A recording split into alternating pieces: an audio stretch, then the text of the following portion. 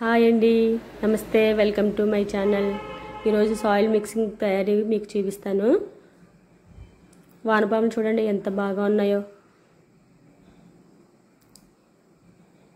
నేను ఎర్రమట్టి తీసుకున్నానండి. ఒక బస్తా ఎర్రమట్టి తెచ్చుకున్నాను. బస్తా ఎర్రమట్టికి బస్తా పెంట వేశాను. ఈక్వల్ రేషియోలో కలుపుకుంటున్నానండి. నేను ఎప్పుడు కలిపినా ఇలాగే కలుపుకుంటాను. దీంట్లో నేను బోన్ మీల్ కానీ మస్టర్డ్ కేక్ కానీ ఏమీ వేయనండి. సగం మట్టి సగం పెంట కలిపి వేపిండి వేస్తాను. వేరుకుళ్ళు అవి రాకుండా ఉండడం కోసం. ఇందులో ముందు నేను ఇసుక వేయలేదండి ఇసుక కలుపుతున్నాను. మట్టి తెచ్చినప్పుడే నేను పెంట కలిపి పక్కన మోటార్లో వేసి పెట్టుకున్నానండి. వర్షాకాలంలో మట్టి అలాగే వదిలేస్తే అది ముద్దలాగా అయిపోయి తీయడం చాలా కష్టమైపోతుంది. అందుకని నేను తేగానే మట్టి లో కొంచెం పెంట వేసి కలిపేసి పక్కన పెట్టుకున్నాను.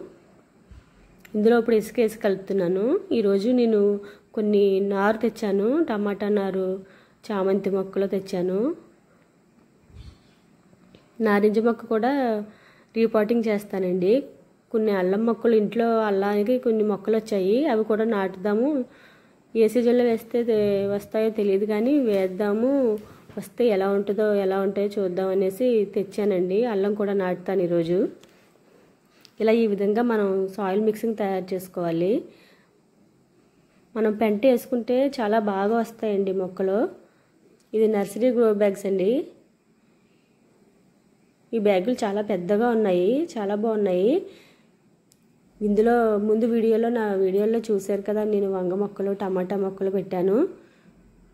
టమాటా మొక్కలు రెండే ఉన్నాయని చెప్పాను కదా ఇప్పుడు టమాటా నారు తెచ్చానండి మళ్ళీని. టమాటా నారు పెడతాను ఈరోజు. ఈ మట్టిని మొత్తం మనం సంచిలోకి ఎత్తుకుందాం. ఇందులో నేను మధ్యలో కిచెన్ వేస్ట్ కూడా వేసానండి. బనానా పీలు తొక్కలు అవి ఉంటే అవి కూడా పూజకు వాడిన పువ్వులు అవన్నీ సగం మట్టి వేసి అందులో ఇవి వేసి అప్పుడు మళ్ళీ మట్టి వేసి పెడతానండి. వానపాములు ఉన్నాయి కదా అవి బాగా అరటిపండు తొక్కలకి వానపాములు చాలా ఇష్టం అండి మట్టిని బాగా అవి బాగా పెరిగి మట్టిని ఇంకా సారవంతం చేస్తాయి. మన సాయిల్ మిక్సింగ్ ఎప్పుడు కూడా మనం పాట్లో చేయబట్టినప్పుడు చేతులకి అంటుకోకూడదండి. గుల్లగా ఉండాలి. మట్టి చేతులకి అంటుకుంటే సాయిల్ మిక్సింగ్ సరిగా లేనట్టని అర్థం నాకు అనిపిస్తుంది. ఒక నెల రోజుల తర్వాత మళ్ళీ పెంట కూడా ఇస్తానండి. మళ్ళీ పెంటే ఇస్తాను నేను. ఇంకేం ఎరువులు ఇవ్వను. చూడండి సగం మట్టి వేశాను. చాలా మట్టి పడింది. అయినా సరే ఈ బ్యాగ్లో మట్టి కనిపించట్లేదు. చూడండి పూజకు వాడిన పువ్వులు బనానా పీలు ఇవన్నీ కూడా సగం మట్టి వేసి అందులో వేస్తున్నాను. వేసిన తర్వాత మళ్ళీ మట్టి వేస్తాను. ఈ విధంగా మనం సాయిల్ మిక్సింగ్ చేసుకుంటే ఇటువంటి ఎరువులు వాడకుండానే మొక్కలు చాలా గ్రీనిష్గా గ్రోత్ బాగా ఉంటుంది. వీలైనంత వరకు మీరు కూడా పెంట దొరికితే పెంట వాడండి. వర్మీ కంపోస్ట్ కన్నా పెంట బాగా ఉపయోగపడుతుంది మనకి. ఇలాగ గ్రో బ్యాగ్స్లో వేసుకున్నానండి నింపుకున్నాను. సగం సగమే వేశాను. అవి మొక్క గ్రోత్ని బట్టి కొంచెం కొంచెం కొంచెం పెంట వేసుకుని అలాగా మనం బ్యాగ్ ఫిల్ చేసుకోవచ్చు. ఇప్పుడు నారు చామంతి టమాటా నారు తెచ్చానండి. తెచ్చి ఒక రోజు అయింది కానీ నాటడానికి కుదరలేదు. ఇప్పుడు వేస్తున్నాను. ఇది పసుపు చామంతి అని ఇచ్చాడు నర్సరీ వారు.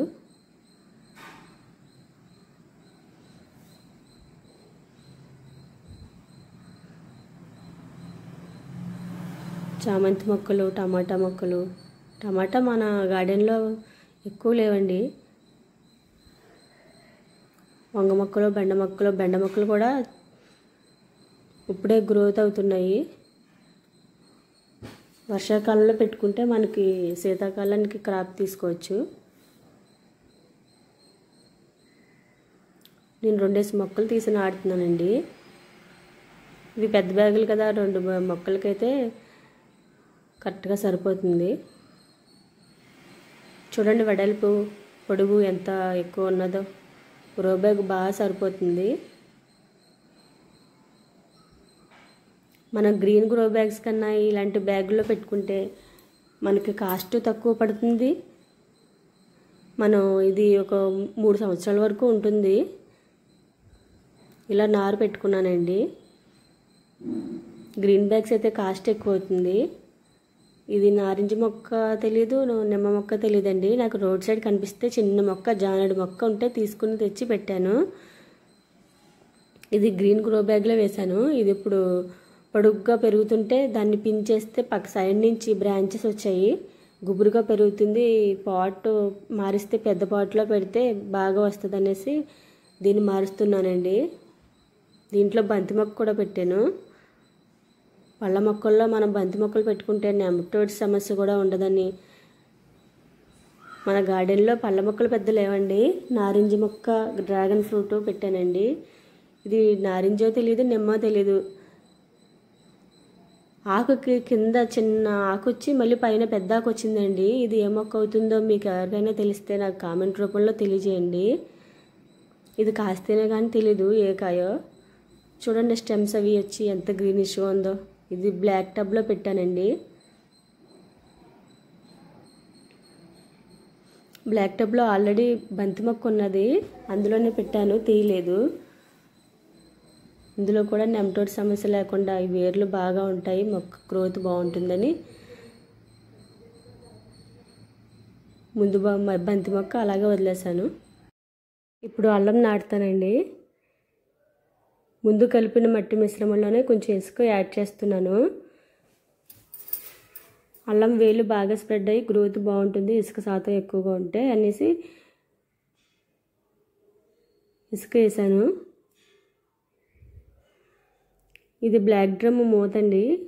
బ్లాక్ డ్రమ్లో దొండపాదు వేసాను. అది మూత కొంచెం ఎక్కువ కట్ చేసి అల్లం నాటుకుంటున్నాను.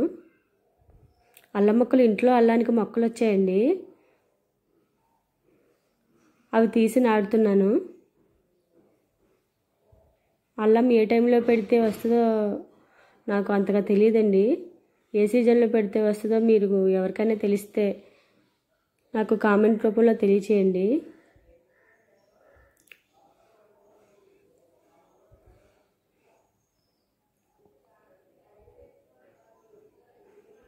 ఇవి బాగా పెరిగితే మన గార్డెన్లో అల్లం కూడా పండించు పండించుకోవచ్చు. అల్లం చామదుంపలు చిలగడ దుంపలు ఇవన్నీ పెడతానండి ముందు ముందు వీడియోల్లో. అల్లం ఎనిమిది తొమ్మిది కనుపుల వరకు తీ తీసుకొచ్చాను. ఇందులో కొన్ని బతికినా మనకి అల్లం బాగా ఊరుతుంది. ఇదండి వీడియో. చూశారు కదా? మీకు నచ్చినట్లయితే సబ్స్క్రైబ్ చేయండి షేర్ చేయండి లైక్ చేయండి. వీడియోని స్కిప్ చేయకుండా పూర్తిగా చూడండి.